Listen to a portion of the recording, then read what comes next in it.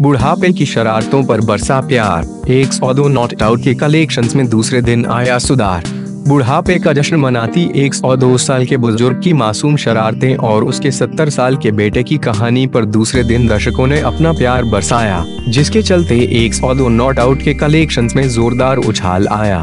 शुक्रवार को सिनेमा घरों में पहुँची फ़िल्म को महज तीन दशमलव पाँच दो करोड़ की ओपनिंग मिली थी, लेकिन दूसरे दिन यानी पहले शनिवार को आंकड़ों में लगभग सत्तावन फ़ीसदी की जंप दर्ज की गई और फ़िल्म ने पाँच दशमलव पाँच तीन करोड़ का कलेक्शन किया। रविवार को भी ये बढ़ोतरी बरकरार रहने की संभावना है।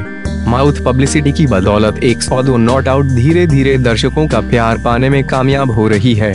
उमेश शुक्ला निर्देशित फ़िल्म में अमिताभ बच्चन और ऋषि कपूर की जोड़ी 27 साल बाद साथ लौटी है मगर इस बार दोनों के बीच पर्दे का रिश्ता बदल गया है। अमिताभ एक और दो साल के बुज़ुर्ग के रोल में हैं, जबकि ऋषि उनके बेटे का किरदार निभा रहे हैं। हिंदी सिनेमा में ऐसी कई फ़िल्में आई हैं जब फ़िल्म के नायक पिता पुत्र हों मगर ऐसे बहुत कम मौके आए हैं जब फ़िल्म के दोनों नायक इतने उम्रदराज हों। शायद यही खूबी एक सौ दो नॉट आउट को दिलचस्प बनाती है। अमिताभ ने भी कई फ़िल्मों में पिता का किरदार निभाया है। अपने करियर के स्वर्णिम काल में भी बिग बी पिता बनकर पर्दे पर आए हैं, मगर 102 साल के पिता वो पहली बार बने हैं।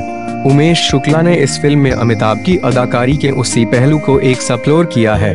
फ़िल्म की कहानी एक गुजराती नाटक से ली गई है, जिसे सौम्या जोशी ने लिखा है।